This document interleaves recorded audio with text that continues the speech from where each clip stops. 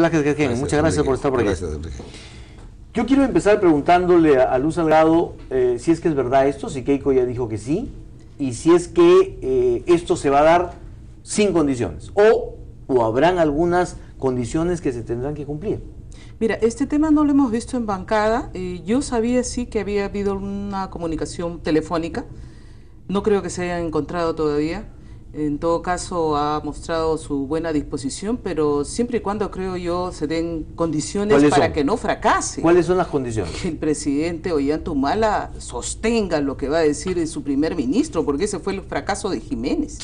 Si él no va a estar en el diálogo, si no se va a comprometer, si no va a estar dándole, digamos, la fortaleza para tomar decisiones a su primer ministro, el primer ministro está hablando, digamos, en el aire ¿no?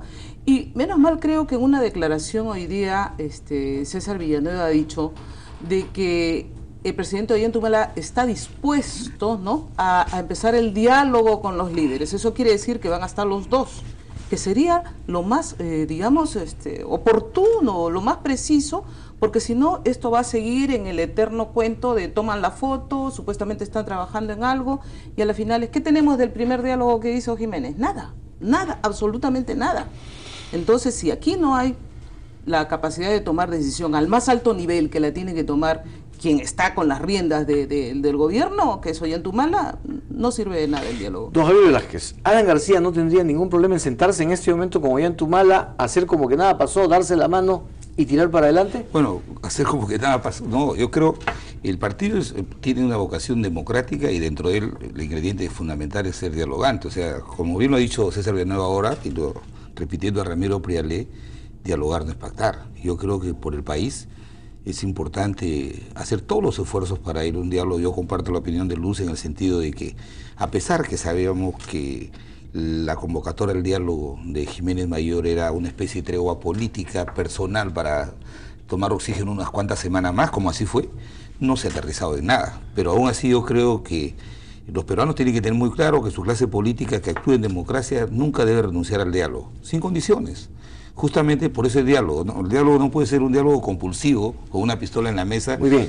Entonces, sentido, van por cuerda paralela a la megacomisión, todas las investigaciones ah, y el diálogo en Palacio. Pero además hay un contexto que tiene que definir el gobierno. Fíjate, el primer ministro ha ido de buena voluntad el jueves, el, miércoles al, voto de investidura, pero vemos a otro representante también del oficialismo, el señor Abugataz, apoyado por la DINI, por la Dirección de Inteligencia Nacional, sembrando sembrando eh, coartadas para tratar de echarse abajo una comisión investigadora. ¿Usted se refiere al audio de Oscar López donde dice por que va a ir a recibir el aeropuerto a la García? Por supuesto, mira, ve. Eso no es verdad. Esta es una coartada del gobierno. O sea, estos son audios editados por la DINI que se le han pasado a Aguataz. Como Aguataz, la gente dice lo que quiere.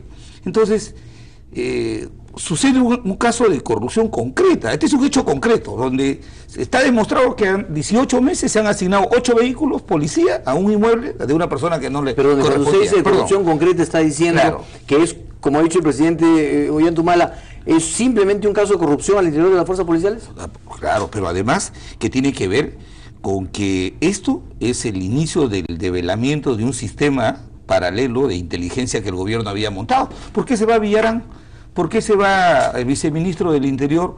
¿Por qué el gobierno tiene temor? Eh, y el señor Villafuerte, no eh, eh, perdón, Villafuerte. ¿Y por qué el gobierno tiene el temor a esta investigación? Fíjate, hoy día el, papá del señor Humala ha dicho que sí, se ha conocido al señor Meneses, lo se han conocido con su hijo cuando eran cadetes, y Humala ha dicho que nunca lo conoció. Pero aún así hay un hecho concreto, y ahora el oficialismo y sus aliados en el Congreso se, se, aprestan a montar una farsa de comisión investigadora presididos por ellos, presididos por ellos, cuando el hecho es concreto, dicen, para poder lograr ese propósito, dicen, ah, hay que investigar eh, la década del 90. ¿Por qué no investigan el siglo pasado? Si hay un hecho concreto que hay que investigar. Y segundo, tiene que investigar la oposición, que es oposición, pero mira la vergüenza que hemos dado en la Comisión de Fiscalización con la señora Eliancar, eh, Acción Popular está rendido, el señor García de Laguna están rendidos al oficialismo, Perú posible, con mayor razón. Entonces ellos quieren organizar una comisión a la estricta medida de tapar una investigación que tiene que llegar obviamente a demostrar cuál era cuál era la razón por la cual se asignaba esta protección policial aparatosa a una persona que no le correspondía. Señor Luz En medio de toda esta situación, a la población le queda en, su, pensamiento la idea de todos los políticos son iguales. Lo que faltaba era que el, gobierno tuviera la sospecha de montesinista o de lo que fuera. Ahora todos los partidos están como tratando de zafarse de ese mote de montesinistas y Fernando Altuve y Keiko Fujimori han reconocido que todavía hay rezagos del montesinismo en el fujimorismo. En el fujimorismo, no así Es, en el fujimorismo, así, lo ha dicho. Que existan montesinistas, este, y, bueno, yo lo que quiero decir aquí es, mira, lo importante, Pero a lo que yo iba sean montesinistas o no montesinistas, estamos viendo que aquí hay corrupción. Y lo que tiene que hacer Villanueva es cumplir lo que nos ha dicho, si quiere llevar este eh, diálogo y si quiere llevar realmente un proceso de gobernabilidad para, como ha dicho él, para ayudar al país. Si quiere transparencia, esta comisión tiene que estar liderada por la oposición. Y ojo, que el Fujimorismo no quiere. no quiere la presidencia. Pero Villanueva no resuelve las cosas en el Congreso. Pero es, es, del Ejecutivo. Es que eh, si él va a avalar lo que en este momento se nota, porque se nota un temor en el gobierno, se nota una desesperación por ocultar las cosas, por dilatar la comisión, por sacar una serie de, argumentos para decir, bueno, ahora eh, todos tienen que ser investigados y no investigamos el hecho en sí.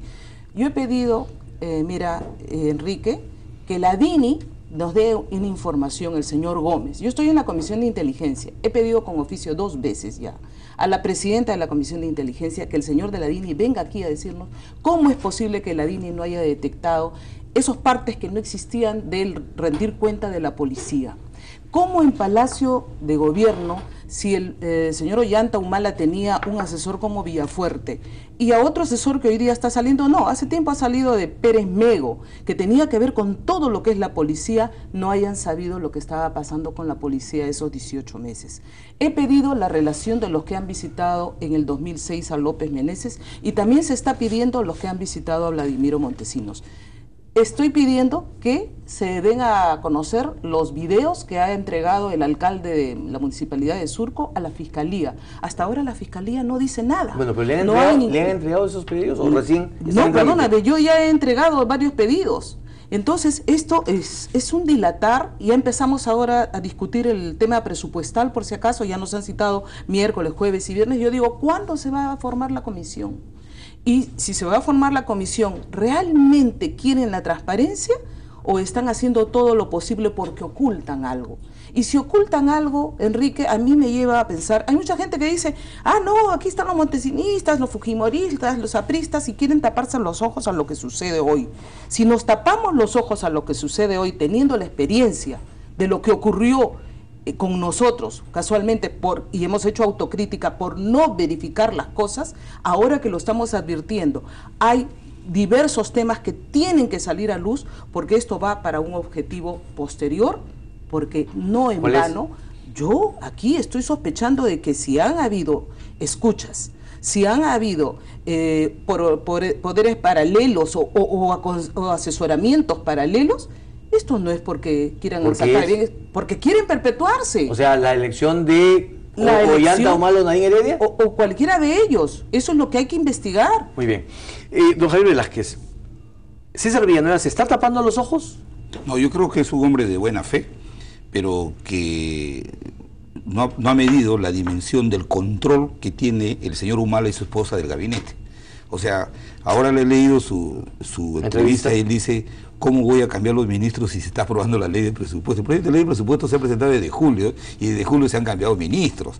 Entonces, pero yo no voy a poner en tela de juicio porque yo creo que hay que ayudar al señor Villanueva que tiene buena fe. Pero lo que él no puede ponerse una venda y, como tú dices, el, tema de la comisión investigadora en el Parlamento, claro que tiene que ver, hay una relación entre el partido de gobierno y la mayoría que controla el Parlamento. Y esto, ¿cómo crees que se puede hacer un diálogo, un ah, qué bonito diálogo cuando nos estamos prestando una farsa de formar una comisión investigadora presidida por gente del oficialismo. Pero César Villanueva, que está solo en el Ejecutivo, porque no tiene ahí aliados, ¿no es cierto? Los ministros que están ahí no los puso él. Menos pues va a tener aliados en, el, la bancada del Congreso. Entonces, no tiene manejo, no tiene manera de influir. Sí, sí, lo hay, sí lo hay, Enrique, por favor. El primer ministro de un gobierno eh, eh, tiene una estrecha coordinación con el presidente del Congreso, el presidente del Congreso de los Ninguno de los cuatro primeros ministros de este gobierno o sea, ¿tú crees que, tuvo vinculación con la bancada. ¿tú, crees que el señor Abugatá que no juega en pared con el gobierno? Cuando o sea, sale, ¿Usted cree que por Abugatá supuesto. está jugando en pared con Villanueva? No, con el gobierno. ¿Con Ollantumala? Por supuesto. ¿A espaldas de Eh, Villanueva? esto- estos distractivos. ¿Pero a espaldas de Por Villanueva? supuesto. Estos distractivos. Estos distractivos de salir a decir que acá hay un contrato, que porque contrataron un portero en la época del gobierno aprista había vin- vinculación montesinista que se investigue. ¿No te das cuenta que lo que están haciendo el gobierno se están muriendo de miedo y no quieren la investigación? Dice, hay que investigar el año 90. Pero por eso ¿Por no investigan el siglo XVII? César Villanueva está con los ojos tapados, ¿no se da cuenta de ese temor, de ese Ah, miedo? yo creo, yo creo que no se da cuenta de un hecho gravísimo. Él declara, dice, ojalá que el Parlamento investigue. Él mismo dice que, pero no se da cuenta que lo que se pretende hacer ahí es montar, hacer un montaje. El oficialismo, lo único que quieren es que Abugataz preside esa comisión investigadora para que no se investigue nada. Entonces termina investigando a la APRA o, o al Fujimorismo, cuando la comisión investigadora, por mandato del reglamento, ha establecido claramente que es una, y la Constitución es una herramienta de minoría. Por eso se establece que para que se conforme la comisión investigadora no se necesitan 61 votos, solamente 45. Pero como ahora el gobierno tiene como dama de compañía a Perú Posible, Acción Popular, a Unión Regional y a Solidaridad, tienen una mayoría, quieren armar su comisión investigadora, montar una farsa. Y a eso el APRA no se va a prestar, no participaremos de eso. César Villanueva ah, está ah, así de espaldas a esta realidad, ¿cree usted también? Mira, yo lo veo con muy buenas intenciones. Es más, tenemos el mejor concepto de él. Sí, pero, el ahorita, día- ahorita Javier el- Velázquez nos ha dicho que acá están jugando en pared Daniela Bugatás y toda la bancada con Es el presidente Humala a espaldas de César Villanueva. Es que mira, llegaba así? Villanueva a pedirnos unión, trabajo, apoyo, y por el otro lado nos estaba cayendo de parte de sus congresistas y de sus ministros, por eso le dijimos, yo le dije eh, eh, cuando hablé, señor este, César Villanueva, mientras usted nos pide aquí que creamos en su proyecto, que votemos todos juntos para darle a usted la anuencia del Congreso, por otro lado, nos están este, torpedeando eh, y prácticamente a usted le están jalando la alfombra porque salía Cateriano a decir que los fujimoristas, salía Bogatás, un poco más, y nosotros habíamos puesto la seguridad este, a la casa de López Meneses. Entonces, y esos dobles discursos no le ayudan pues a su primer ministro. Lo mandaban para pedir apoyo y por otro lado nos estaban tirando cuchillo a nosotros, a la oposición que estaba con buena fe para darle la anuencia. Entonces, yo creo que sí hay un doble discurso.